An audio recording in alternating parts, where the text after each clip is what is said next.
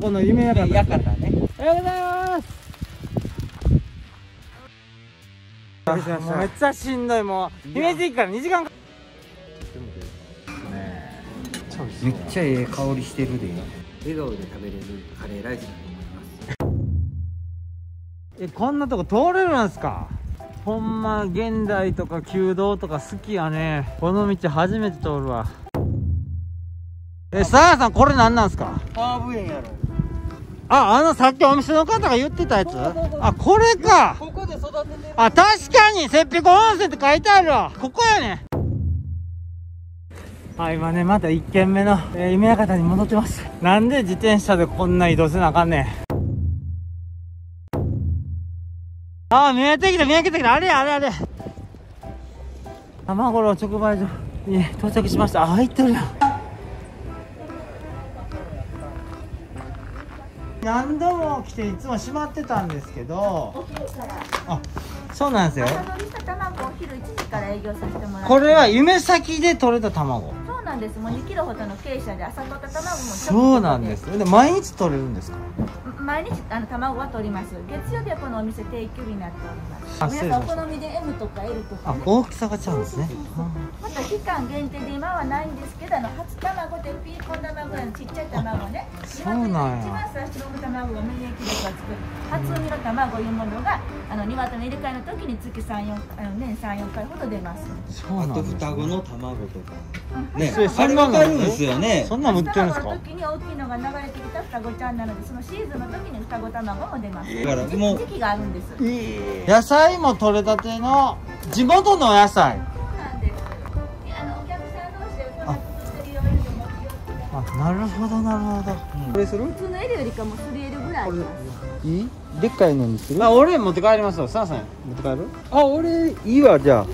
あここってもう長いんですか？10年ですね。ええ10知らなかった。この日までが生食できてね加熱してもらうと常温で1ヶ月持ちますのでね。うん。300ねさっきいただいたのでお店のラスに印が入ったカレンダーですそうなんですね。ありがとうございます。割れ割れへん？大丈夫？ぶどうちゃん。あ大丈夫です。うん。あ知ってるんや。教えてもらってお客さんも教えてくださってぶどうちゃん。そうなんですすいませんもう。ごめんなさい。やさんが書いてくれたんですよ。すいませんいやーもう有いや名やなぶどうちゃんいやえーあんまりその僕でその知らなかったお客さんがね結構検索でぶどうちゃんできたり本当ですか。すいませんもうなんかすごいあの評判聞いてたんで。あそうなんですか。うんここのね見て買いに来たよいう人いてたんですか？いらっしゃるあマジっすか？よかった。おなじみさんもいらっしゃるしそれで若い方も結構去年そう11月ぐらいあたりから。すごい効果あったなぶどうちゃん歴史がやっとここで分かった。なんでそれがなくなったんか分かったよ夢先ってもともと養鶏場であのみんな会ってであの養鶏場に行ったらうん。売ってくれてたよね。今売ってくれへんねやろ？今は鳥インフルとか保健所の問題で立ち入りもダメだしあの個人的にも無理になってたんです。あそういうことなんや。昔は一応あちこちの養鶏場で自分で自分で取って。あほんまなんですかそれ。いやこの人言ってたんですけど嘘やと思ってたんですよ。そうそう山の内の奥そうなんや。あそこ潰れてるよね。もうねそうやねあそこが一番いやいや鳥小屋に行って撮りたいんですけどまだやってるとこ知りません。いやないあない。これはあんま載せへん方がいいですよね。みんな食べに来るよな。そういやもうみんな今もう常連さんおってやからよう知ってるあね。そうなんや。年末の忙しい時とかあの亡くなった時はないのであもらえますよみたいなお客あのお買い上げのお客さんがね。そんな感じでね。いや買うてへんやん。うんごめん。いやいいやいいやいやいいです。あの俺の分食べてください。でこのキャラクターお姉さんがお姉さん描きはったんですか？いえいえこれはねあのちゃんとデザイン作ってるの。そうそうお頼みして。そうなんだ。可愛いですね。おおちゃんと来たよね。でかっ今日お腹いっぱいでなんかもうまた近いんやからそうや、まあ、買いに来なさい。今度ちょっとまたゆっくり来ようぜ。ということで卵の直売所今日開いてました。開いてました。やってまいりました。ぶどうちゃんお疲れです。ないっすよ。車一台もおらへんしもう閉まってもとんちゃうんすか？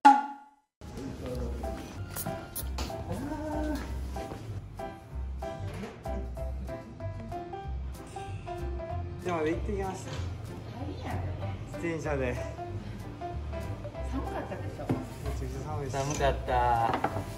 ざるそばとで野菜のかき揚げってこれはどこのかき揚げなんですか？えっとここで採れた野菜。おーいいね。今はねでも仕入れと時期的に。まあまあまあまああそうなんや。だからそばととろあの卵かけだけにする。ひとまずそれにするでも正直に言ってくれるところがいいよね。夏はねいろいろあるけど今の時期はこんな時期やこれあは塩むすびってどんなの？えおにぎり。ただの？うんじゃあ卵かけご飯とざるそばではい卵かけご飯です。はいありがとうございます。夢咲町のあ夢咲町の卵。卵は夢咲町が有名やって言ってんやんでお米はここのあのうちの夢工房で作ったお米。そうなんだ。全部夢咲ここここの卵見てほらめっちゃ綺麗でほら。いやだからそう顔に持っていかんとき 入ろう入ろうしますよね。入らへん。俺基本俺は基本的にこだわりがあるんやけど。君いるよいやそれそれは入った方がいいでしょ見栄えは。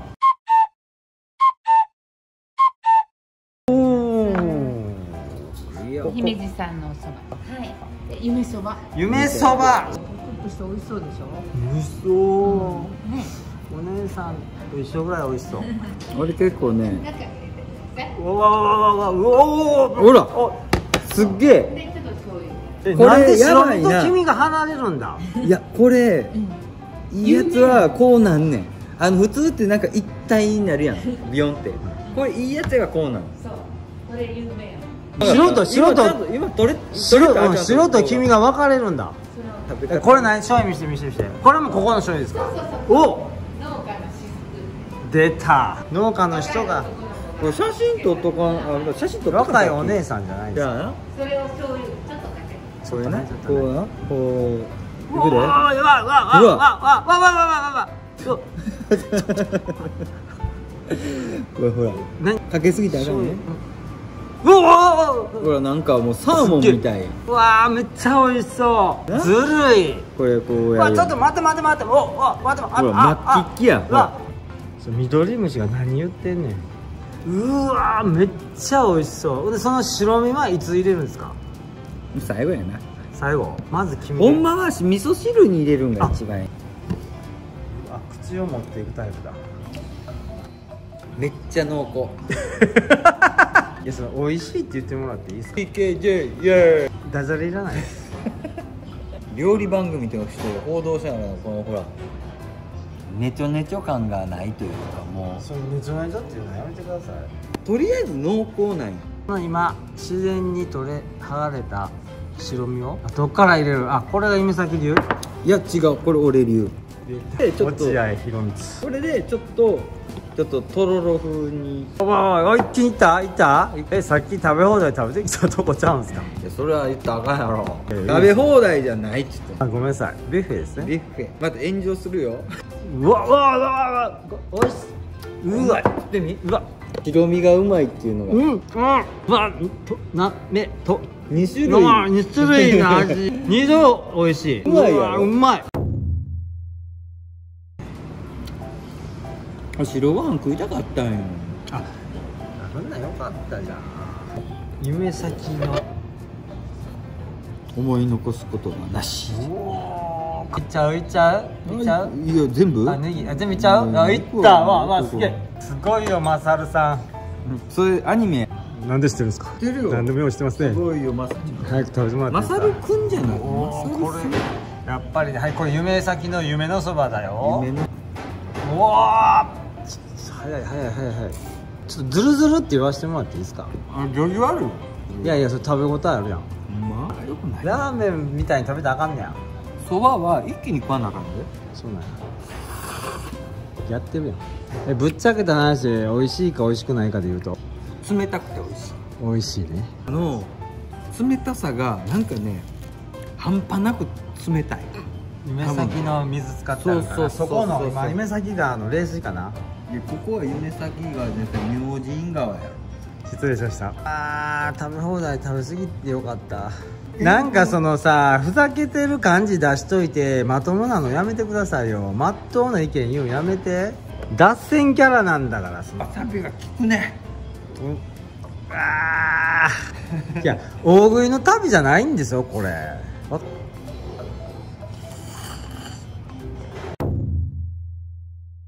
これそば湯や最後飲まらへんけど今日はちょっと気分的に。ちょっとこぼした。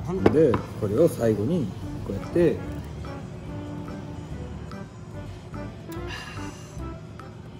わびさび。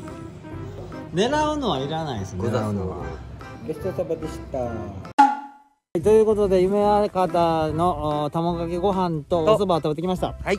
どうですどうですか？夢美人という卵でねで黄身と白身が分裂してでも身は黄身で美味しい、うん。えー白身は白身で美味しいスタッフの方言ってましたよね。そうそうそうそう、んだからあのちょっとねやっぱ卵はただの卵じゃないというところをみんな分かってもらいたいのと。夢咲地は卵で有名やっていうことをみんな再度あの認識してもらいたいっていうね。そばのこと言わなはそば粉はここで引いててねやってるって言ってて。ましたね。で山登った人が、えーお腹減らして下ってきた人がうんここでそばと塩おむすび食べたり卵かけご飯食べたりっていうところでねお腹を満たしてくれる憩いの場所やっていう教えてくれたよ。はい夢咲えーおっさんでも姫路盛り上げれるかということで夢咲を今日50キロ自転車でねスーさんと2人で行ってきました、いやーどうでした？あの夢咲の人は結構いい人多いね。優しいね。優しいね。あうん。でぶどうちゃんのやつ見てるよ。あの人も見てるよ。この人も見てるよって。ーいや喜んでくれてましたね。お店がお休みであ投稿したにもかかわらずみんな来てくれてるっていうことはいいことやいやねもうありがたいですね、はいということで卵もねちゃんと買いましたのではい、えーということでスーさんと姫路おっさん2人で盛り上げれるのかということで夢咲、えー第2弾ということで今日は5 0キロ回ってきました。はいということで本日もお時間が来てしまいました。ということで、ぶどうチャンネル姫路の種はまだまだ姫路のことを我々おじさん2人でも盛り上げたいと思ってますのでこの企画のポンこの企画の時は皆さん要チェックでお願いします。はい次はあなたの街に行くかもしれません。ということでまた次の動画でお会いしましょうさようなら。